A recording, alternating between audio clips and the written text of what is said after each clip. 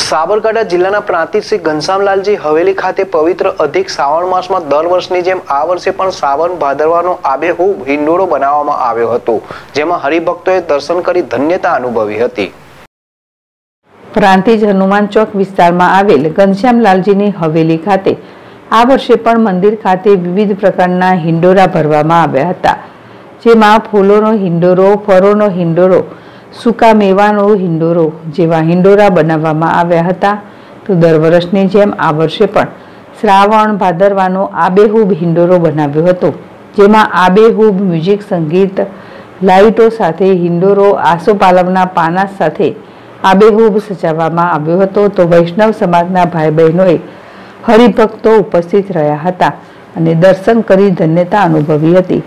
તો મંદિર વ્યવસ્થાપકો કિરીટભાઈ દેસાઈ કીર્તિકુમાર દલાલ હર્ષકુમાર દેસાઈ, ગૌરવ કુમાર દલાલ તથા મહિલા મંડળ દ્વારા શ્રાવણ ભાદરવાનો આબેહૂબ હિંડોરો બનાવવામાં આવ્યો હતો. તો મંદિરના સંકુલમાં ભજન કીર્તનનો કાર્યક્રમ પણ હરિભક્તો દ્વારા યોજાયો હતો. જીલ રાવલ, જેડેશ ટીવી પ્રાંતિજ ને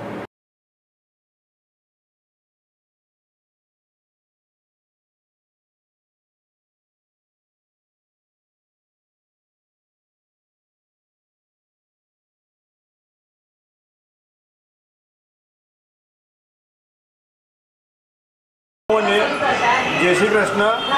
આજ રોજ તારીખ સત્તર આઠ બે હજાર ચોવીસના રોજ ઘનશ્યામલાલજી હવેલી પ્રાંતિજ ખાતે સાવન ભાદવના દર્શન હતા. તો પ્રાંતિજની ધર્મપ્રેમી જનતાએ દર્શનનો સૌએ લાભ લીધો છે અને દર વર્ષની જેમ અહીંયા ખૂબ જ આકર્ષક અને મનમોહક હિંડોળાના દર્શન પ્રાંતિજ ઘનશ્યામલાલજી હવેલી અને મદન મોહનલાલજી હવેલીમાં દર વર્ષની જેમ દરેક વૈષ્ણવો સાથે મળીને ઉજવે છે. જય શ્રી કૃષ્ણ. આજ રોજ પ્રાંતિજ ઘનશ્યામલાલજીની હવેલીમાં શ્રાવણ ભાદરવાના દર્શન રાખવામાં આવ્યા હતા અને બહુ બધા વૈષ્ણવોએ અહીંયા આવી અને દર્શન કરી ધન્યતાનો લીધો. અમારા દર વર્ષે પ્રાંતિજ શહેરમાં શ્રાવણ ભાદરવાના દર્શન રાખવામાં આવે છે અને ભાવિ ભક્તો ખૂબ જ મોટી સંખ્યામાં અહીંયા ઉપસ્થિત રહે છે અને આનંદ મંગલ કરી ઉત્સાહનો આનંદ લઈ અને વૈષ્ણવો પ્રસાદ લઈ અને ઘરે જાય છે અને આજે મદન ઘનશ્યામલાલજીની હવેલીમાં છે ને અઠવાડિયું બે, ત્રણ દિવસ પછી મદન મોહન લાલજીની હવેલીમાં પણ શ્રાવણ ભાદરવાના દર્શન રાખેલ છે. તો ભાવિ ભક્તોને પણ હું કહું છું કે ભાઈ, ભાવિ ભક્તોને બધા ભાવિ ભક્તો ત્યાં પણ આવે અને દર્શનનો અનેરો લાહો લે અને ધન્યતા અનુભવે. જય જય શ્રી ગોકલેશ શ્રી કૃષ્ણ કનૈયા.